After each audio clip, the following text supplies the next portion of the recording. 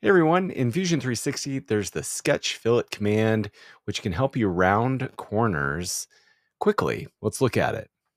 When you're sketching in Fusion 360, you have the ability to quickly add rounded corners. And there's important reasons why you would do this from a design perspective.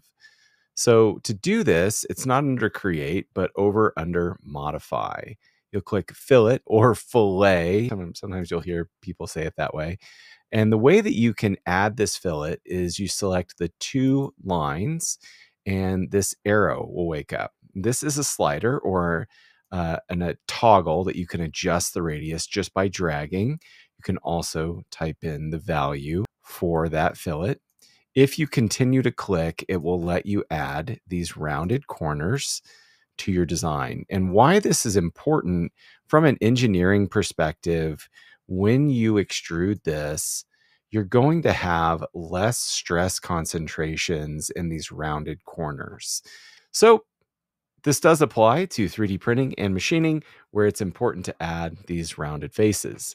Now, when you're adding fillets, there's a few things to be aware of. You'll first need to be in a sketch. So I can come down to my toolbar below and do right click on the sketch and edit sketch. This will take us back into our sketch.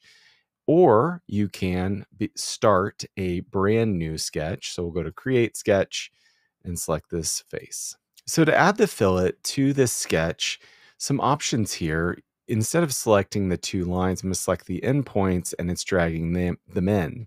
I'm to type in 12. These are now both set to 12 millimeters. If I double click and change this to 14, hit enter, they're both going to update. Now, if you'd like for to add more fillets, they are going to be separate from the ones above. So if I add these two below, they are tied to this value. So instead I could make this eight. And so this is great if you want them to be different values, different dimensions if I sort of messed up, I could add these fillets and I can always delete the dimension and then simply select the fillet that has a dimension and just choose equal in the constraints.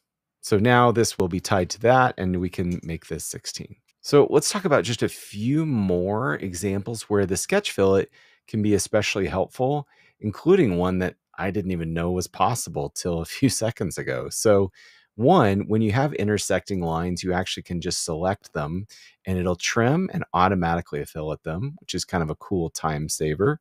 Hit enter. Next, when you have arcs and circles on top of one another, you can fillet these. So choose fillet, choose the two arcs, and you'll get this transition. Next, this one is new to me, parallel lines. I didn't know that Fusion could solve this for you with a sketch fillet. So I've got parallel lines. I even have the endpoints lined up. And this one's a shout out to Kevin Kennedy at Product Design Online. Uh, this is kind of a cool one. Check this out. So you hit fillet and you select the two lines and it'll actually solve and create an arc between them. Pretty cool. Now, you don't actually have to have them line up or be even with each other, it still will solve for you if you saw if you just click. So it's a kind of a fast way to create uh, a slot. And the last tip for the sketch fillet, kind of a pro tip, is if you are in a 3D sketch where you're doing lines in 3D space, this can be very helpful to do a fillet here at this level. Simply select the lines and it will create that 3D transition for you with the radius value attached, just like when you're in a 2D sketch. So one big question comes up, how do I add this fillet to this edge?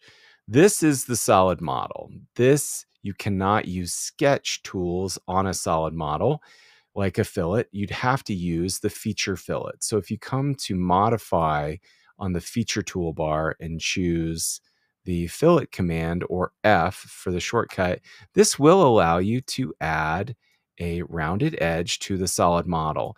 This is my preference, and I like to use this feature whenever I can. I prefer it over the sketch, but there are some exceptions. When you're working with more complex models like lofts and sweeps, where you have these profiles that are solving into each other. I have a rectangle that's effectively solving into a series of rectangles. This is a loft. It's solving from one profile to the next and creating this continuous geometry. So what I want to do is go up to fillet and it can be tricky to get this to work well with your model. And so this is where sometimes if you come back and were to add these fillets to your sketches, so let's drop some in real quick. Great.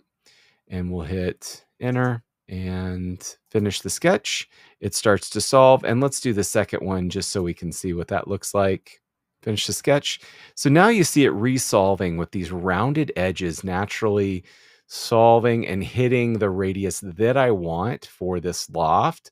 Same goes for some sweeps where doing the fillet at the sketch level can be incredibly helpful. But I will also say that if you're in a sketch and the design just makes more sense to you, if you were to add the fillets to the sketch level, if this just feels easier or it makes more sense or it makes sense to edit in the future, go for it. Definitely follow your gut when it comes to this design intent and what makes sense to you. You can always, you know, adjust your strategies as you get more experience with Fusion 360. And this is definitely one of those tools to be aware of. At the sketching level, you can add fillets to round edges quickly. Thanks for watching, guys. We'll keep covering all of our features in Fusion 360. I'll see you in the next video.